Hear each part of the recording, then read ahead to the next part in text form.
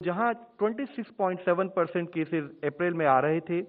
हमने उसमें एक काफ़ी नोटेड कमी नोट की और लेकिन अब देश में second highest cases in terms of contribution Maharashtra से 20.8 प्रतिशत केसेज जो देश में ओवरऑल रिपोर्ट हो रहे हैं, वह महाराष्ट्र स्टेट से आ रहे हैं।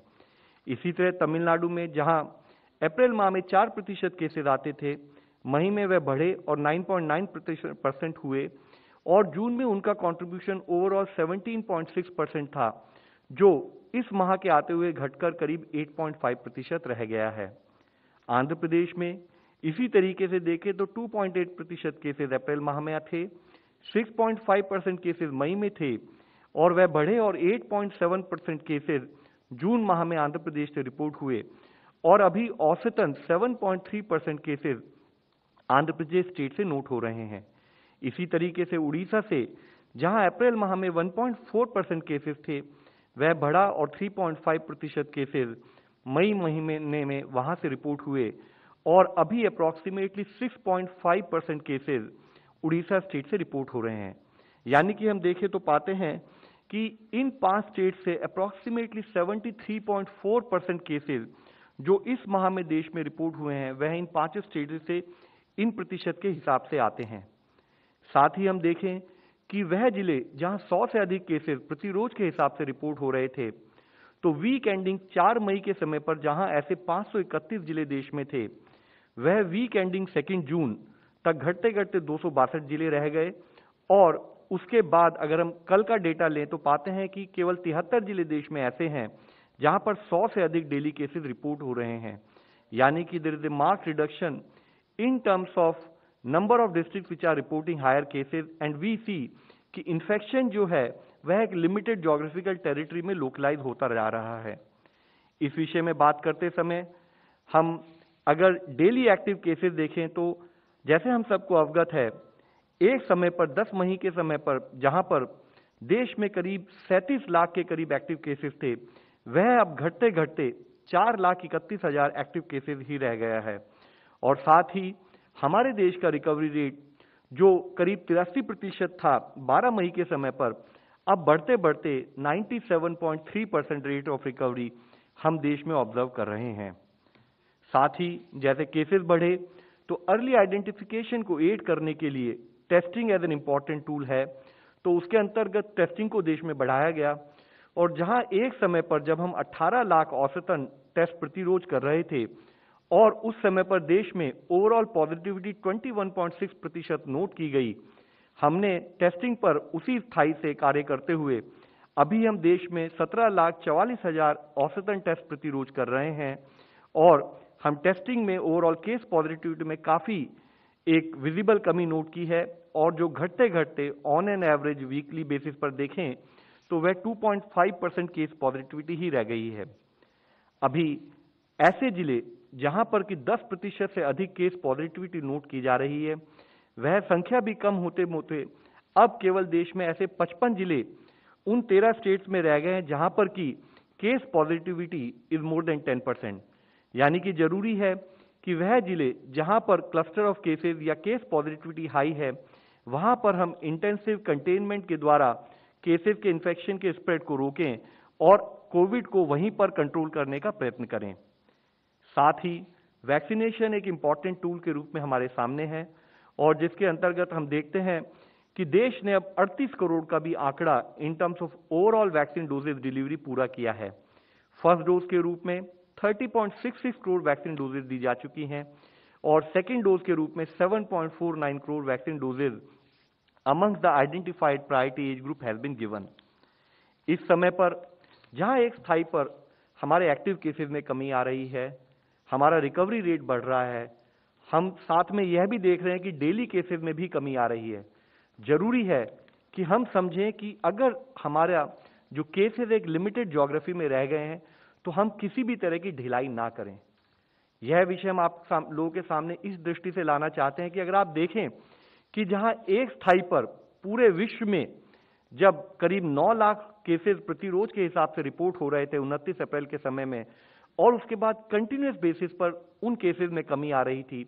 तो पिछले कुछ दिनों से ग्लोबली विश्व में भी हम केसेस में एक ग्रोथ नोट कर रहे हैं higher number of cases are getting reported across the world, which remains a cause of concern. और उसी को हम further state country wise analyse करें तो हम देखेंगे कि जैसे यूनाइटेड किंगडम में जहाँ पर एक पीक आई थी इन फेब्रवरी जो और 59,000 केसेस के करीब रोज केसेस रिपोर्ट हो रहे थे वहाँ पर केसेस कम होने के बाद फिर से एक distinct rise in cases note किया जा रहा है और करीब चौंतीस हज़ार के करीब केसेस प्रति रोज के हिसाब से रिपोर्ट हो रहे हैं। सिमिलरली अगर आप देखें इसी तरह से रशिया में जहाँ अट्ठाईस हज़ार केसेस एक पीक के समय में आए थे तो वहीं पर एक distinct peak in terms of पच्चीस हज़ार केसेस एक हाई सर्ज कैटेगरी और एक हाई सर्ज फैक्टर हम वहाँ पर भी नोट कर रहे हैं, यानी कि उस देश में भी केसेस बढ़ रहे हैं। अगर हम अपने आसपास के देशों में देखें तो वहाँ भी आप नोट करेंगे, जैसे बांग्लादेश में एक पीक जो सात हज़ार केसेस के करीब थी, अब जो नेक्स्ट पीक हम ऑब्ज़र्व कर रहे हैं ए कंटिन्यूइंग बेसिस तेरह हज़ार से अधिक केसेस प्रतिरोज के हिसाब से रिपोर्ट हो रहे हैं। इसी तरीके से, जहाँ इंडोनेशिया में बारह हज़ार के करीब केसेस प्रतिरोज आ रहे थे, अभी एक सर्ज कैटेगरी नोट करते हुए वहाँ पर भी चालीस हज़ार से अधिक केसेस प्रतिरोज के हिसाब से देश में रिपोर्ट हो रहे हैं। यह हमारे लिए कॉज का विषय है। हमें समझना चाहिए कि हम अपने देश में और बाहर देशों में केसेस की ट्रैजेक्टरी को समझते हुए किस तरह की सावधानी हमें बरतनी है ताकि इन्फेक्शन हमारे देश में फिर से ना फैल सके। इसी संदर्भ में हम आपको बताना चाहेंगे कि जैसे आप देखें कि कुछ स्टेट्स हमारे देश में भी ऐसी हैं जहाँ पर कि अब हम एक further surge in cases note कर रहे हैं। उदाहरण के रूप में देखें मणिपुर, मिजोरम, त्रिपुरा, अरुणाचल प्रदेश और इसी तरह कुछ स्टेट्स ऐसी है जहाँ पर केसेस में कमी तो आई है, लेकिन एक प्रोपोर्शनेट रिडक्शन जैसे कि ओवरऑल देश में केसेस में कमी आई है, उतना ना होते हुए वहाँ पर एक प्लेटो के रूप में केसेस अभी भी रिपोर्ट हो रहे हैं और इसलिए ज़रूरी है कि कंटेनमेंट पर हमारे एफर्ट्स उसी स्थायी से बने रहें। इसी संदर्भ में जैसे आप सबको अवगत है, हम देश के स्थायी पर कंटिन्यूस बेसिस पर इवॉल्विंग सिचुएशन को मॉनिटर करते हैं और स्टेट से डिस्कस करते हुए कैसे, क्या एफर्ट्स किए जाएँ ताकि हम कोविड को मैनेज कर सकें, उसके बारे में चर्चा करते रहते हैं। हमने पिछले कुछ दिनों में कुछ सेंट्रल टीम्स भी 11 स्टेट्स में डिप्यूट की हैं so that they can help and aid state government in covid 19 management जिसके अंतर्गत हमारी सात नॉर्थ ईस्ट स्टेट्स में हमने टीम्स भेजी हैं। साथ ही महाराष्ट्र, छत्तीसगढ़, केरला और उड़ीसा स्टेट में भी, क्योंकि वहाँ पर एक ग्रोथ ट्रेजेक्ट्री या कुछ जगह पर हाई केस पॉजिटिविटी नोट की गई थी तो उन स्टेट्स में भी हमने सेंट्रल टीम्स भेजी हैं। आज ही माननीय प्रधानमंत्री जी के स्थायी पर ऑनरेबल चीफ मिनिस्टर जो नॉर्थ ईस्टर्न स्टेट के हैं, आठों स्टेट के, उनके साथ एक चर्चा की गई, एक वीडियो कॉन्फ्रेंस की गई, जिसमें मुख्यतः माननीय प्रधानमंत्री जी ने केसेस की ग्रोथ ट्रेजेक्ट्री को समझते हुए एक स्थायी पर उन्होंने बहुत ही संतोष जताया कि कैसे पेशेंस और डेडिकेशन के द्वारा इन पर्टिकुलर स्टेट्स में, जबकि इनके यूनिक जोग्राफिकल चैलेंजेस हैं, किस तरह से वहाँ पर काम करते हुए एक स्थायी पर टेस्टिंग ट्रीटमेंट इंफ्रास्ट्रक्चर और कैसे वहाँ पर हेल्थ केयर वर्कर्स ने एक्स्ट्रा डोजेज भी वैक्सीनेशन ड्राइव में अच्छे ढंग से काम करते हुए एक्स्ट्रा डोजेज भी लगाई। जैसे कि अगर एक पर्टिकुलर वायल में 10 डोजेज थी और एक एक्स्ट्रा होती है तो उन्होंने कैसे 11 डोजेज लगाकर सेविंग की और वैक्सीन वेस्टेज की बजाय वैक्सीन इफिशियंसी पर काम किया, जिसके लिए उन्होंने वहाँ के हेल्थ केयर वर्कर्स को अपना साधुवाद दिया। हाउवर इसके बारे में बात करते हुए माननीय प्रधानमंत्री जी ने वहाँ पर केस पॉजिटिविटी या नंबर ऑफ़ केसेस जो बढ़ रहे हैं, उसके बारे में अपना उन्होंने डाउट उन्होंने अपना चिंता भी व्यक्त की। उन्होंने हाईलाइट किया कि ज़रूरी है कि हम अर्ली साइंस को समझते रहें और जहाँ पर भी केसेस या पॉजिटिविटी बढ़े, वहाँ पर स्ट्रिंजेंट स्टेप्स लिए जाएँ। साथ ही उन्होंने कहा कि केसेस मैनेजमेंट में कोविड 19 मैनेजमेंट में सबसे मुख्य अंश होता है कि हम कम्युनिटी को अवेयर करें कम्युनिटी का सहयोग लें और कोविड अप्रोप्रिएट बिहेवियर को कंटिन्यूस बेसिस पर अपनी लाइफ का पार्ट बनाएँ। उन्होंने बताया, उन्होंने चिंता व्यक्त की कि जैसे कुछ रिपोर्ट्स आ रही हैं, जहाँ पर कुछ लोग मास्क नहीं पहन रहे हैं या कोविड सेफ़ बिहेवियर का फॉलो नहीं कर रहे हैं पर्टिकुलरली मार्केट्स और टूरिस्ट लोकेशन में तो उन्होंने हाईलाइट किया कि ज़रूरी है कि उस बारे में कम्युनिटी को अवेयर किया जाए और उनका सपोर्ट लेकर उस प्रोसेस को मैनेज किया जाए।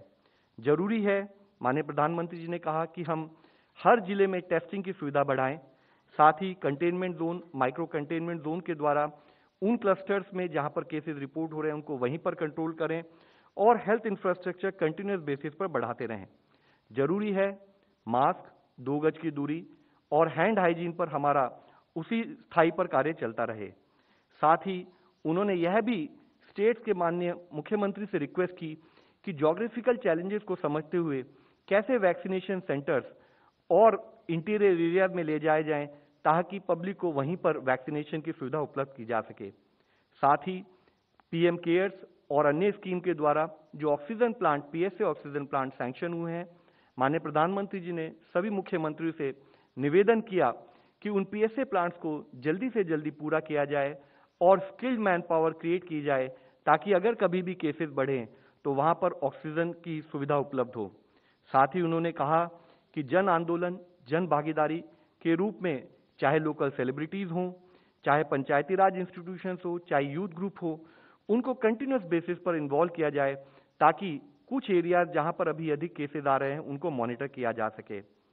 जो ऑनगोइंग मंत्र है इन टर्म्स ऑफ़ दवाई भी कड़ाई भी, उस पर सतत रूप से हम कार्य करते रहें। और हमारी जो फाइव फोल्ड स्ट्रैटेजी है that is testing tracking treatment vaccination और कोविड अप्रोप्रिएट बिहेवियर उस पर कार्य चलता रहे। उन्होंने सभी मुख्यमंत्रियों से निवेदन किया कि सजगता और सतर्कता, और साथ ही हर स्थायी पर हर स्तर पर सबका सतत प्रयास ज़रूरी है ताकि हम कोविड की महामारी से निमट सकें। इसी संबंध में उन्होंने यह भी अवगत किया कि माननीय प्रधानमंत्री जी के स्थायी पर तेईस हज़ार एक सौ तेईस करोड़ का जो इमरजेंसी रेस्पॉन्स और हेल्थ सिस्टम प्रिपेयरनेस पैकेज है, उसका इस्तेमाल नॉर्थ ईस्ट की स्टेट्स और देश की सभी स्टेट में हेल्थ इंफ्रास्ट्रक्चर बढ़ाने के लिए और कोविड मैनेजमेंट के, उसके इसलिए इस्तेमाल किया जाए, जिसमें मुख्यतः हम आप लोगों की दृष्टि में लाना चाहेंगे कि इस पैकेज के तहत करीब बीस हज़ार नए आईसीयू बेड्स बनाए जाएँगे, जिसमें से 20 प्रतिशत बेड पेडियाट्रिक आईसीयू बेड्स होंगे, यानी कि छोटे बच्चों के लिए बनने वाले आईसीयू बेड्स। साथ ही इसी पैकेज के तहत हर ज़िले में एक पेडियाट्रिक यूनिट बनाई जाएगी और साथ ही हर स्टेट के लेवल पर, यूनियन टेरिटरी के लेवल पर एक centre of excellence for paediatric children बनाया जाएगा, जो कि इन ज़िले स्थायी पर बनने वाली पेडियाट्रिक यूनिट्स की हैंड होल्डिंग करेंगी।